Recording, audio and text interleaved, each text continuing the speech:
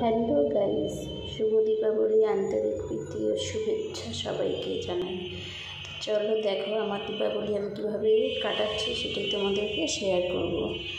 তো দেখো, আমি প্রথমে মোম ধরিয়ে দিয়েছি, সব সিঁড়িতে দিয়ে দিয়েছি। তো আমি হচ্ছে এটাই দেখাচ্ছি তোমাদের। অবশ্যই যদি ভিডিওটা ভালো লেগে থাকে লাইক কমেন্ট অ্যান্ড সাবস্ক্রাইব করবে, অবশ্যই শেয়ার করবে ভিডিওটা। অনেক অনেক অনেক অনেক কমেন্ট করবে ভিডিওগুলিতে। দেখো, এটা আমাদের রান্নাঘর। আমি রান্নাঘরে সব জ্বালিয়ে দিলাম, প্রদীপ এক করে।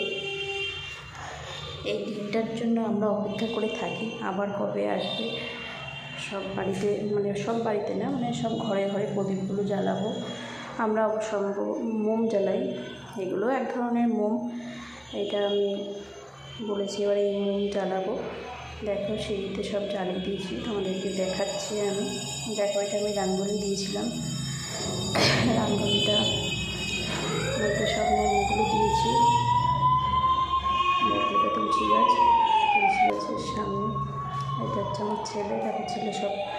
এটা হচ্ছে ছেলে রেখেছে রঙ্গোলিটা করেছে। বলছে আমি জ্বালাবো মোমগুলো তো আমি বললাম ঠিক আছে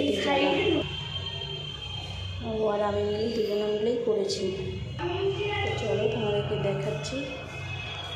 সব জ্বালানো হয়ে গেছে মোমগুলো তো দেখো কেমন লাগছে। আমি জ্বালিয়েছি আমি আমার ছেলে মিলে চালিয়েছি সব সিঁড়িতে। ভিডিওটা অবশ্যই ভালো লাগে লাইক কমেন্ট অ্যান্ড শেয়ার করবে। সবাই আজকে খুব মজা করো। এরপরে আমরা জ্বালানো হয়ে গেছে, এরপরে আমরা বাজি ফাটাবো। বাজিটা এখনও ভিডিও করা হয়নি, সেটা তোমাদেরকে পরে আমি দেখিয়ে দেবো। বাজি ফাটানোর ভিডিওটা দেখে। এটা হচ্ছে ছেলের ঘর। ছেলে হচ্ছে গণেশ ঠাকুর সামনে দিয়েছে, সেটাই তোমাদেরকে দেখালাম।